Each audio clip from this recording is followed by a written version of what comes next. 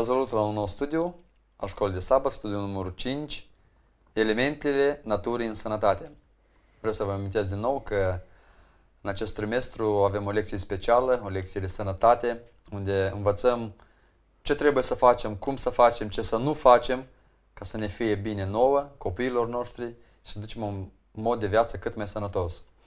Acest studiu vom petrece împreună cu Ion. Ion, bun venit! Bine v-am găsit! Textul uh, pe care se bazează această lecție este de la Geneza 2 cu 7 și Domnul Dumnezeu a făcut pe om din țărâna pământului, i-a suflat în nări suflare de viață și omul s-a făcut astfel un suflet viu. Cât de simplu este astăzi când merge ceva vorba de a descoperi ceva, tehnologii noi, multă, multă știință, mult studiu, multe laboratoare și așa mai departe, ca oamenii să descopere ceva nou. La Dumnezeu cât e simplu, l-a făcut pe om din țărâna pământului și a dat viață. Vom vedea în această lecție mai mult despre aceasta. Întrebarea A, din punctul 1, întreabă când a devenit prima ființă umană un suflet viu. De ce depinde viața noastră în sine? Atunci când Dumnezeu l-a creat pe om, mai întâi, așa cum ai spus tu, simplu l-a făcut din țărâna pământului, a făcut forma, deci a făcut corpul. Însă, înainte ca Dumnezeu să-i sufle suflare de viață, omul nu era încă o ființă vie, era doar un corp. Doar de, țărână. Doar țărână, mm-hmm. așa. Iar atunci când Dumnezeu i-a dat suflare de viață, da, duc de viață, omul s-a făcut un suflet viu. Și de ce depinde viața noastră umană? Desigur, pe parcursul lecției vom vedea că depinde de multe lucruri, însă trei lucruri sunt principale în ființa noastră. Este uh-huh. trupul, sufletul și Duhul. Acestea confirmă și alte texte din Biblie, chiar și aici, Iov, în textul care îl avem menționat aici, ne spune că până nu-ți iei tu Duhul și suflarea înapoi, atâta timp noi trăim că Dumnezeu da. ne lasă aceste lucruri. Așa cum lui Adam Dumnezeu i-a suflat viață și a avut de Adam viață în el, așa și nouă astăzi Dumnezeu, fiecărui om de pe acest pământ, Dumnezeu îi dă viață și are viață doar pentru că Dumnezeu i-o dă. Deci, așa este corect, doar în Dumnezeu. Mm-hmm. Toate lucrurile pe care noi le putem, ă, care ne, sunt necesare vieții noastre ca să trăim și să fim vii, toate aceste lucruri se află în Dumnezeu. În El avem ă, mișcare și ființă. Da, și făcând o paranteză aici, vedem în această lume, studiind uh, ceea ce se petrece, tot ceea ce este viu, totul este numai de la Dumnezeu. Oamenii mult, mult, mult se străduie ca să dea viață la un gândac, la un șoarece, ceva prin laboratori, dar uh, nu le se primește să dea ei viață, pentru că viața este numai și numai în Dumnezeu. Uh, poate și pot să dea viață, dar tot depinde fiind dependenți de la altceva. Da, fiind dependenți ei. de ceea ce Dumnezeu a da, lăsat da, ca viață în natură. Sigur. De ce este atât de important să respirăm aer curat și cum putem respira într-un mod sănătos? Câte ceva sfaturi. Într-adevăr, viața noastră se începe pe pământ cu respirație. Atunci uh-huh. când copilul se naște, el începe să respire. Și se termină tot când încetează respirația. Uh-huh. Ne dăm seama că respirația este probabil cel mai important Ehm, lucru dintre agenții pe care le Dumnezeu i-a lăsat ca să ne mențină în viață. Este important să respirăm eh, aer curat și să-l respirăm eh, și în mod corect. Uh-huh. Pentru că, în general, eh, respirația cea mai corectă trebuie făcută pe nas. Uh-huh. Prin nas noi trebuie să inspirăm aer și în felul acesta organismul își trage mai mult oxigen. Iar oxigenul, mult, este, da? da, oxigenul este foarte important pentru creier. De asemenea, locul unde noi dormim, unde trăim, trebuie întotdeauna să fie aerisit. Chiar și în casele de adunare, când ne adunăm toți împreună, dacă nu este aer, oxigen suficient, atunci observăm că mulți poate să adoarmă. Să adoarmă și practic e fără de niciun folos ceea ce se vorbește acolo dacă nu este suficient oxigen. Da, desigur, pentru că mintea are nevoie, creierul are nevoie de oxigen. Dacă oxigenul lipsește, creierul adorme Mhm. și nu funcționează bine. Este simplu. Dar mergem la un alt element important în viața noastră, apa. De ce este apa esențială pentru viața pe pământ? Dacă cel mai e, puternic om dintre ființele muritoare, desigur, Mhm. a dovedit lucrul acesta, că el a avut nevoie de apă, atunci cu atât mai mult și ceilalți care sunt mai slabi în putere au nevoie de apă. E, Știm din istoria Bibliei e, și textul care este pus aici în e, lecție că Samson a strigat la Dumnezeu și a spus că dacă nu va bea apă, va muri. Da. Deci este e, destul de necesar acest element al naturii pentru a ne menține viața. Și ea ajută la împlinirea nevoilor corpului atunci, e, nu numai pentru a ne menține viața, dar chiar și când suntem bolnavi, tot este ca un tratament pentru boală. Da. mm, Nu suntem medici, dar totuși cunoaștem că organismul nostru, cea mai mare parte, este compus din apă și de aceea și avem nevoie de apă pentru că să funcționeze bine. Da, deci atunci când bem apă, apa noastră din organism, e, ea se schimbă cu apa curată pe care Mhm, noi, e, deci mhm. nu aceeași apă rămâne întotdeauna, e, pentru că dacă ar sta întotdeauna numai un fel de apă în organism, atunci ar deveni impură. Da, sigur. Ce calități trebuie să aibă apa pentru a fi potabilă și benefică sănătății? Care sunt alte întrebuințări ale apei în tratamentul bolilor? Apa e, trebuie să fie naturală în primul rând Mhm. și trebuie să, f- e, ca să o înțelegem dacă este, pentru că în ziua de astăzi este și apă, sunt și izvoare care nu sunt bune pentru sănătate și vedem că acest lucru a fost și în istoria vechiului Israel. Au vrut să bea apă și apa era amară. Se dă de înțeles din această istorie că apa amară nu este bună pentru sănătate. Că nu tot, toată apa lichidă putem să o bem, da? Desigur, chiar dacă este de la natură, nu mai vorbim de apa transformată prin diferite proprietăți chimice. Chiar dacă este de la natură, s- de multe ori se poate întâmpla ca ea să nu fie bună de băut. De aceea ă, ne este dat un sfat că să putem discerne care apă este bună și care nu, trebuie să o alegem pe cea care este dulce. Însă dulce se are în vedere dulce de la natură, nu dulce Mhm. făcută prin... prin dif- Zahăr, da? Da. Și mai este o întrebare aici, ceva interesantă legată cu băutura, să spunem. Ce înlocuitor pentru apa a introdus Satan pentru a slăbi omenirea fizic și spiritual? Și ce rău aduc aceștia? Știm cu toții că scopul lui Satan este de a nimici lucrarea lui Dumnezeu. Iar noi, fiind lucrarea mâinilor lui Dumnezeu, El neapărat vrea și pe noi ca să ne distrugă. Și dacă Dumnezeu a lăsat ca apa să ne refacă, să ne mențină în viață, atunci El s-a gândit cum să schimbe acest element ca El să, în loc de binecuvântare, să devină un blestem, să devină distrugător pentru noi. Și chiar însuși apa, în ziua de astăzi, este transformată într-o băutură rea prin diferite adaosuri chimice, sunt diferite băuturi rele, apă și așa mai departe, colorante și așa mai departe. Și alte băuturi în natură care Dumnezeu le-a lăsat, nu numai apa Dumnezeu a lăsat-o ca băutură, chiar este și vinul. E, Noi suntem e, obișnuiți atunci când auzim cuvântul vin, deoarece Satan chiar de la început e, a, a sucit acest, e, această băutură și a, transform, a făcut pe oameni să o folosească greșit.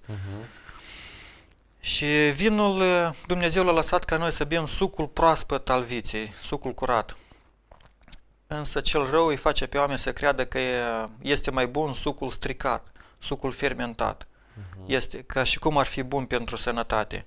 Și nu numai e vinul fermentat, dar e, multe alte băuturi el a inventat, cum ar fi ceaiul, cafeaua.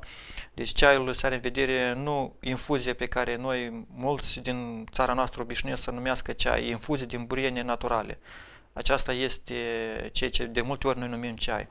Dar se are în vedere de ceaiul negru, ceaiul verde, care nu este de la natură, este un concentrat care ne, de, ne distruge sănătatea. Și la întrebarea precedentă a mai fost un punct important că apa se folosește chiar și pentru înlăturarea bolilor, dacă uh-huh. este apa curată. De aceea, dacă apa nu este curată și băuturile care noi nu le folosim, care le folosim și nu sunt curate, ele din potrivă aduc boala, dar nu înlăturează boala. Da, și puțin despre apă, încă, fiindcă suntem la capitolul apei, vreau să vorbim despre apa în exterior. Are această importantă mare sau nu prea mare? Că cam mm-hmm. nu, nu aș fi corect poate să spun o, un grafic fix de câte ore trebuie să facem duș pe zi sau pe săptămână, dar ce poți să ne spui despre apa folosită în exterior? Cât desigur, de mare importanță are? Desigur, depinde de activitatea oricărui om, de vârstă și toate acestea tot joacă un rol important. Însă chiar baia cu apă rece tot este importantă, fiindcă băile cu, cu apă rece, ele regulează circulația sângelui. Uh-huh. Dar de fapt, baia cu apă rece este mai mult pentru exterior. Ea pentru piele ajută mai mult. Uh-huh. Dacă sunt diferite uh, lucruri care, sau nu lucruri, nuanțe care apar pe pielea noastră, uh-huh. atunci prin băile rece ele se elimină acestea, se, se curăță. Mulți oameni, în special femeile, folosesc diferite tonice pentru a elimina aceste dar el nu le elimină, doar le astupă pe, pentru Așa este, însă destul de simplu se dă de înțeles că apa rece este un tratament pentru aceste probleme. Apa caldă este un calmant pentru nervi și ajută totodată la eliminarea impurităților. Dar impuritățile nu se elimină din organism doar prin interior. Așa dar este. și prin pori, prin piele și ele trebuie curățate în fiecare zi. Dacă lucrul nostru pe care noi îl facem zi de zi îl facem într-un mediu unde este mai mult, mai mult praf, deci atunci este nevoie de o băie mai des.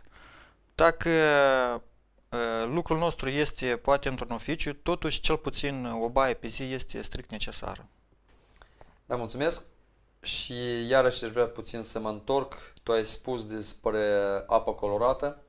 Eu vreau să accentuez mai în special despre apă colorată este o apă în care este adăugat zahăr, este adăugat uh, vopsea, acolo nu este niciun gram de portocală sau de kiwi sau altfel de fructe care ei fac reclamă și este foarte, foarte dăunătoare nouă și copiilor noștri. De aceea apelul nostru este ca să o excludem categoric din, de pe mesele noastre sau unde o folosim noi. Niciodată să nu cumpărăm apă colorată pentru că ea este foarte dăunătoare. Și aici intră deja sigur că și Coca-Cola și toate celelalte care aduc numai și numai daune organismului nostru. Aceste băuturi, ele se mai numesc uh, carbogazoase. Carbogazoase, da. Am învățat la, lecți- la întrebarea precedentă că organismul și creierul nostru are nevoie de oxigen. Iar aceste ape sunt numite carbogazoase, deci ele au, mhm. conțin carbon, nu uh-huh. oxigen. Ceea ce organismul dă afară, noi, ceea ce trebuie dat afară, noi, noi introducem.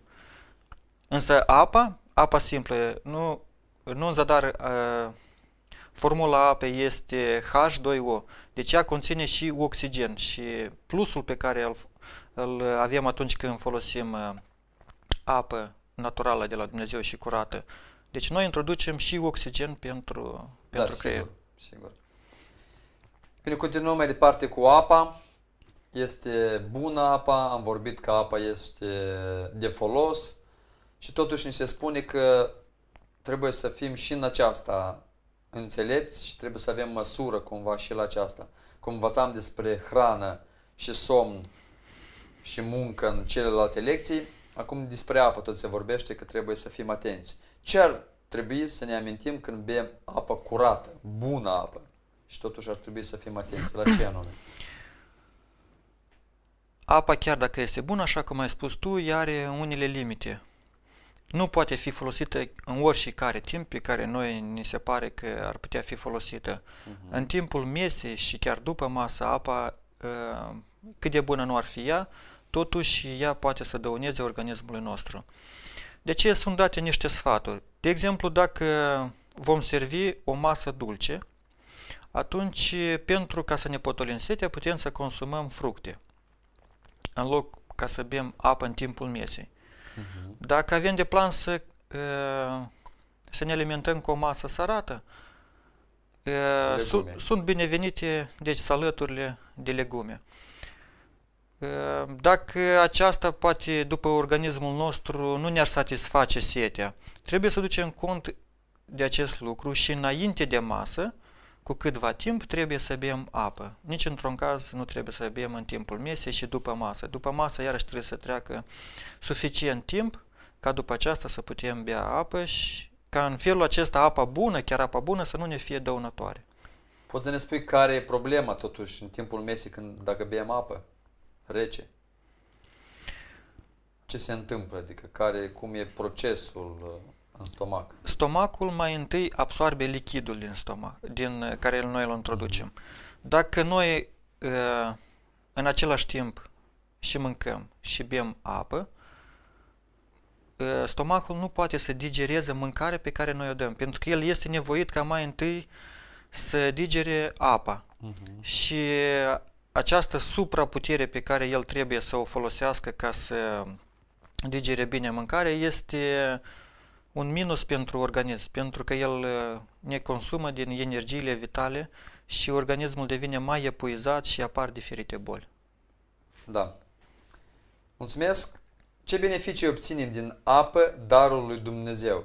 Și ce putem învăța de la alte lucruri vii pe care le-a creat Dumnezeu?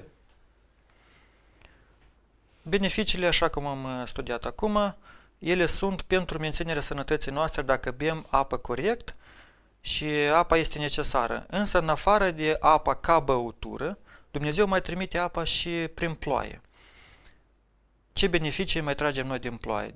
Prin ploaie Dumnezeu face să crească toate verdețurile de prin prejur.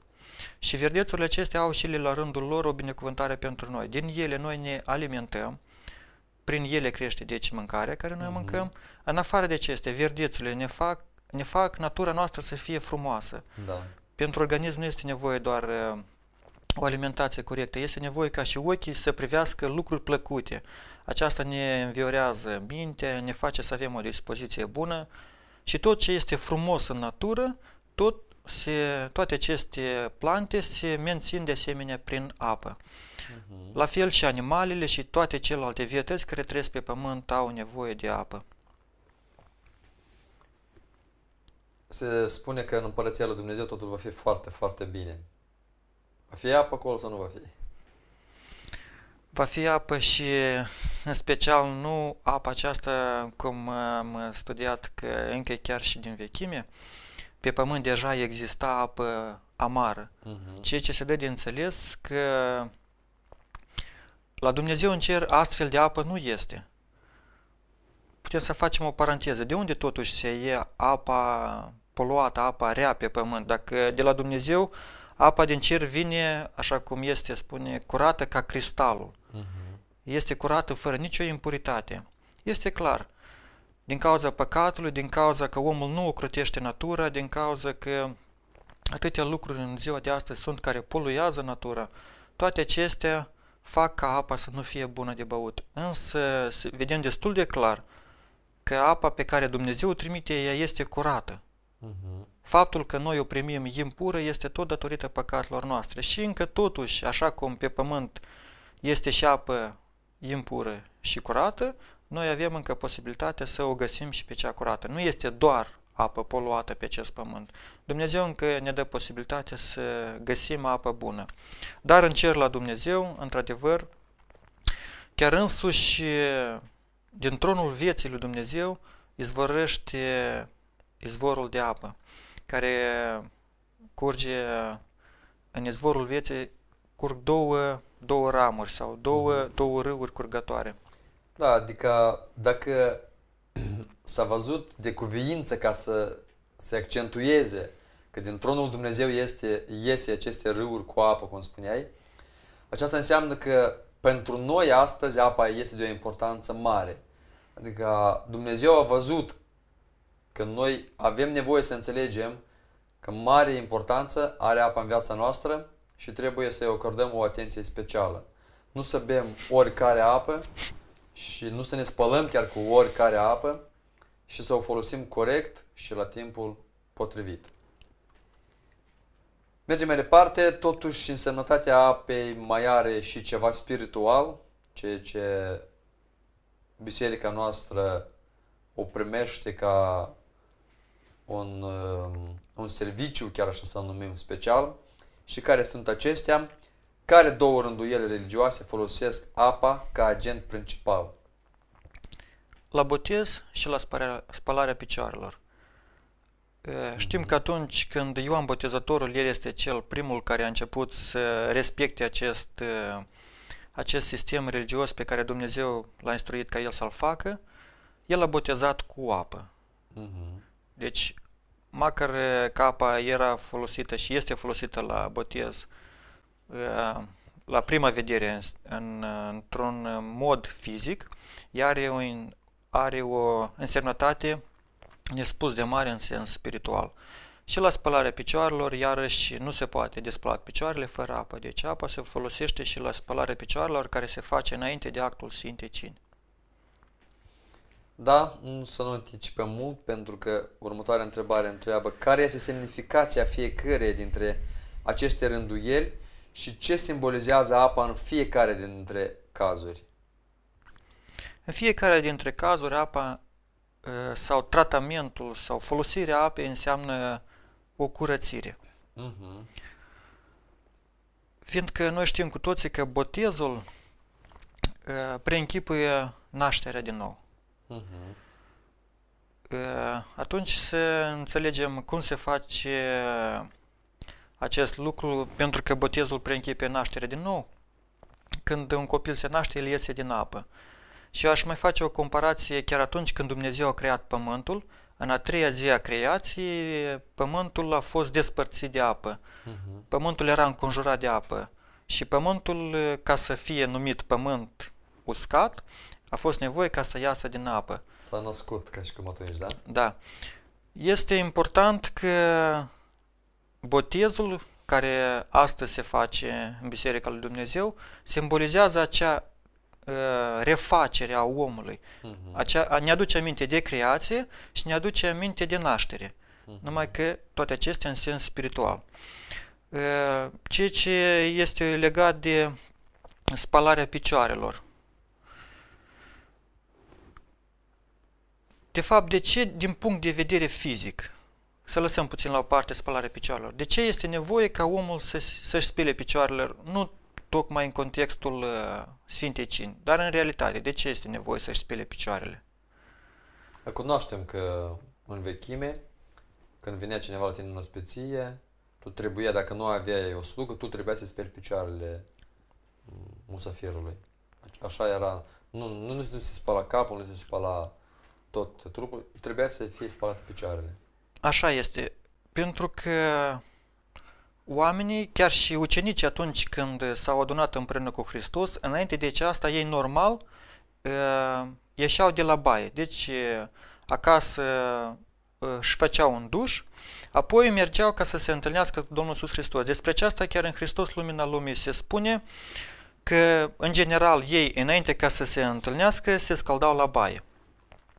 Dar, fiindcă ei mergeau în sandale, și drumurile erau prăfuite, cu toate că ieșeau de la baie până în locul unde se întâlneau, picioarele se prăfuiau și era nevoie ca să-și spele picioarele ca să fie în totul curați. Uh-huh. Acum, în sens spiritual, spălarea picioarelor.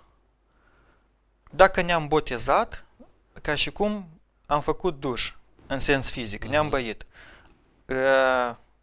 În călătoria noastră înspre cer, noi putem să ne mai prăfuim până ce ajungem acolo. Cu toate că, într-o oarecare măsură, prin actul botezului, Hristos ne iartă nouă păcate și ne oferă o viață nouă. Iar noi putem să ne prăfăim picioarele atâta timp cât mai călătorim pe acest pământ. Și prin spălarea picioarelor, noi ne, ne curățim de toate aceste întinăciuni, de toate ceea ce putem să mai păcătuim cât timp mai călătorim. Desigur, cred că pe parcurs vom mai vedea cum anume sau de ce, ce ne poate curăți la spălarea picioarelor și ce nu ne poate Da, curăți. adică vreau să ne spui totuși, tu ai amintit că la Sfântă Cină apa ne curățește. Ne curățește de păcat apa la Sfântă Cină sau nu? Totuși. Că păcătuiesc pentru că Sfântă Cină mi-am spălat picioarele și, adică mi le-a spălat, eu am spălat cuiva, sunt, păcat, sunt curățit de păcat și gata, eu, păcatele mele sunt spălate prin acea apă la Sfântă Cină și fac ce vreau mai departe până în trei luni și iarăși sunt curățit. Cam cum este aici? Dacă vrei să ne precizezi mai. Să vedem cum a fost acest lucru în cazul ucenicilor. Uh-huh. Ei, într-adevăr, ă, nu erau perfecți din punct de vedere spiritual. Deja din punct de vedere fizic am văzut că ă, se prăfăiau pe drum și era nevoie de o spălare a picioarelor ca să fie în totul curați fizic. În sens spiritual, ă, pentru înainte ca ei să, să se facă această spălare de picioarelor împreună cu Domnul Isus Hristos, între ei erau dezbinări. Nu știau cine este cel mai mare, era mândrie, era înălțare de sine, erau unele lucruri care ele într-adevăr putem să le numim păcat. Uh-huh. Și totuși, pentru unii spălarea de picioare a fost spre bine, Spre curățire. Spre curățire. Da? dar pe Iuda, a fost și Iuda acolo, și el tot avea și el păcatele lui, însă pe el această spălare de păcat nu l-a ajutat la nimic. Păi, ce s-a întâmplat totuși, adică, sau ce se întâmplă astăzi? Că eu pot să nu fiu curățit, dar tu poți să fii curățit prin spălarea picioarelor. Care este secretul? Sau care Într-adevăr, este... acest act de spălare a picioarelor și nu că tu singur ți le speli personal, dar să le speli, să le speli fratelui sau celui de alături, uh-huh. este un act de umilință, este ceva umilitor să speli cuiva uh-huh. picioarele. De aceea Domnul Iisus Hristos a ales acest act ca să fie un test. Un test pentru ca fiecare personal să se vadă pe sine însă și să recunoască dacă fac eu acest lucru din toată inima sau nu pot să-l fac pentru că eu sunt mândru, sunt, nu pot să-l văd pe fratele meu, nu sunt, nu pot să, umilesc, să mă umilesc chiar într-atât ca să-i spăl cuva picioarele. Cine este fratele meu să-i spele eu pe picioarele? Lasă și le spele el singur. Uh-huh. Domnul Iisus Hristos vrea ca să ne testeze inima și mintea noastră prin acest act. Iuda, de fapt, se spune în Hristos Lumina Lumii că Iuda a înțeles puțin și, și și-a dat seama că Domnul Iisus Hristos îl iubește foarte mult uh-huh. atunci când a făcut acest act de umilință. El a simțit atunci dragostea lui Hristos. Este important ca și noi atunci când spălăm picioarele cuiva să facem acest lucru din dragoste, ca fratele nostru să simtă acest lucru cu că noi avem dragoste și avem o inimă curată față de el. Și Iuda într-adevăr a simțit acest lucru. Dar el era gata, gata chiar atunci să-și mărturisească toate păcatele. Uh-huh. Așa spune Pana inspirată. Și era gata, gata, gata să fie bă, salvat. Da. Dar a fost cu totul pierdut și de atunci, după ce a luat bucățica, cum spune în Biblia, a luat, adică bucata de pâine, a intrat satan în el, pentru că nu a vrut să se umilească. Cu alte cuvinte, spalarea este umilință și nu ne curăță spălarea de picioarele, dar umilința este cea care ne curățește. Totul depinde de ce avem noi în cap, da? ce, ce avem noi în inima noastră. Dacă eu mă plec și îți spăl ție picioarele și mă scol și te urăsc mai departe și doar am vrut să fac aceasta pentru că parcă m-ar curăți aceasta cumva, aceasta nu mă curățește deloc. Dacă eu nu mi-am schimbat atitudinea mea, dacă eu nu mi-am schimbat uh, gândurile mele rele, nu-mi rezolvă deloc problema, da? Da, desigur, tu ai amintit corect. Pentru că sunt unii oameni care nu le-ar place în biserica noastră, deoarece acest act este pentru ei prea umilitor. Cu multe puncte ar fi de acord, dar cu acest act nu ar fi de acord și din cauza aceasta ar refuza că să vină să se pocăiască. Mhm. Dar mai este și altă problemă, că cei care deja sunt în biserică, ei fac acest lucru, pentru că mulți așa s-au născut, mulți așa s-au obișnuit și îl fac doar de formă. Însă Doar acest... o obișnuință. Da. Că nu este o umilire din inimă, da? nu este o umilire înțeleasă, într-adevăr, o dragoste față de Dumnezeu, o dragoste față de fratele. Eu îi spăl picioarele acelui frate, dar îi spăl pentru că eu, eu într-adevăr, am o dragoste față de el. Sunt gata să fac mult mai mult decât doar să-i spăl picioarele. Nu o fac aceasta pur și simplu că stă pastorul și se uite la mine. O fac eu aceasta sau nu o fac și dacă o fac corect. E, Știți, am găsit încă un paragraf e, important în e, spiritul profeției. Se descrie starea poporului lui Dumnezeu chiar înainte de venirea lui Hristos. Și atunci când toată lumea este împotriva unei grupe mici, când toți se năpustesc asupra lor și este așa text în Biblie unde se spune că săb- săbile lor se vor preface în paie, se descrie despre acest moment. E, Și aș vrea să citesc e, o propoziție, deci ținem cont că este vorba despre acel moment și ce, ce înțeleg oamenii, cei care nu au vrut să se pocăiască și care au ales să fie de partea celui rău. Uh-huh. Spune așa, acum era clar pentru sinagoga lui Satan că Dumnezeu ne-a iubit pe noi care am putut să ne spălăm picioarele unii altora și să salutăm pe frați cu o sărutare sfântă. Deci dacă noi ne-am lăsat de egoism, de mândrie aceste lumi, de înălțarea pe care lumea aceasta o oferă și ne-am umilit într-adevăr și ne-am putut să ne spălăm picioarele, atunci vom putea face parte din acea grupă care vor sta tari de partea lui Dumnezeu. Da, să ne ajute Dumnezeu. Și un al treilea factor, tot de o foarte mare importanță în viața noastră, este soarele. Ce binecuvântare ne-a dat Dumnezeu prin soare? Ce comparație sugerează faptul că soarele oferă vindecare fizică și spirituală?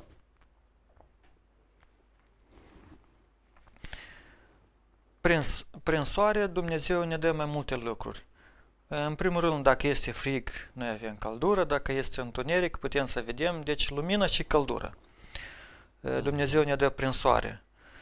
Dar în afară de toate acestea, știm că lumina oferă și vitamina D, ceea ce Da. este important pentru menținerea organismului nostru. Deci toate aceste, toți acești agenți ai naturii sunt eh, necesari pentru organismul nostru um- uman. Dar soarele mai are și el, la felul lui, un eh, simbol spiritual. Hristos este însuși el soarele neprihănirii care simbolizează soarele care noi îl vedem astăzi pe cer și viața noastră spirituală, eh, acest soare al neprihănirii ne oferă vindecare spirituală, Uh-huh. cât și după cum soarele de pe cer ne oferă vindecare fizică și menținerea vieții noastre fizice. Toate, deci, atât lucrurile spirituale cât și cele fizice, ele sunt legate între ele ca un lanț. După cum din primul punct vedem că omul nu poate să fie viu dacă nu are în el trup, suflet și duh. Uh-huh. Așa este și cu menținerea mai departe. Nu doar ca să apari în lume este nevoie de aceste lucruri, dar chiar să trăiești, să te menții în viață, este nevoie ca să respectăm toate aceste lucruri care ne pot menține atât, nu numai trupul, dar și sufletul nostru și Duhul. Da, și ca și în celelalte cazuri cu mâncarea, iarăși amintească somnul, munca, apa, și soarele este foarte bun, dar totuși are și el exces, da? Care sunt unele dintre riscurile implicate în expunere excesivă la soare? Ce protecție a oferit Dumnezeu israeliților în pustie? E, Iarăși o istorie din Biblie ne este ilustrată cu Iona.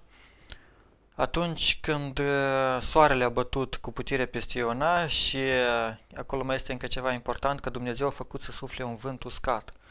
Dacă nici aerul nu este umed, atunci e, și aerul este uscat și soarele bate tare. Atunci suntem în pericol, cum și Ioan, Iona a leșinat. Uh-huh. Înțelegem, deci, dacă soarele bate prea tare și noi nu ne protejăm, atunci aceasta dăunează sănătății noastre. Și ce protecție a oferit Dumnezeu atunci când Israel călătorea prin pustie? A fost o umbrelă pentru ei care i-a protejat. Acesta a fost norul în care însuși Dumnezeu era acolo și când soarele bătea prea tare, pentru ei se, era ca o, ca o protecție ca să nu bată prea tare și arșița soarelui să nu iardă. De ce e? Adică Dumnezeu nu i-a scos în pustie să vă bată soarele, să vă să nimicească cumva. Dumnezeu, dacă a fost un plan al lui Dumnezeu ca să se ducă în țara făgăduită, a fost un plan în, în toate domeniile, și ce, ce ține de soare, și ce ține, ce ține de apă și de mâncare. Ok, ei murmurau că aceea nu este bună, că aceea este prea puțină, aceea e prea mult și așa mai departe. Da. Cum prezintă Scriptura echilibrul perfect al naturii pe noul pământ și sursa de lumină de acolo? Acolo deja nu vom mai fi dereglări în natură. Soarele nu va bate prea tare ca să ardă și eu cred că acest lucru a fost și la început când Dumnezeu a creat pământul. Arșița și toate celelalte lucruri care nu și apa amară, arșița, aerul poluat, toate aceste lucruri ele au venit după păcat. Mm-hmm. Acestea sunt uh, rodul păcatului. Însă în cer, fiindcă nu este păcat, ci păcatul nu va mai fi, toate aceste lucruri uh, negative nu vor exista pe pământ. Deci lumina soarelui va fi desăvârșită pentru că însuși Dumnezeu va fi un soare și un scut el ne va lumina și toate aceste lucruri vor fi desăvârșite din toate punctele de vedere. Da, să ne ajute Dumnezeu ca să avem parte și noi de acel loc care Dumnezeu l-a pregătit pentru noi, unde apa va fi bună, nu va trebui să căutăm undeva ape bune, izvoare bune, soarele va fi perfect, nici prea tare, nici prea puțin, mâncarea va fi tot cea mai bună și toate lucrurile vor fi cele și cele mai bune.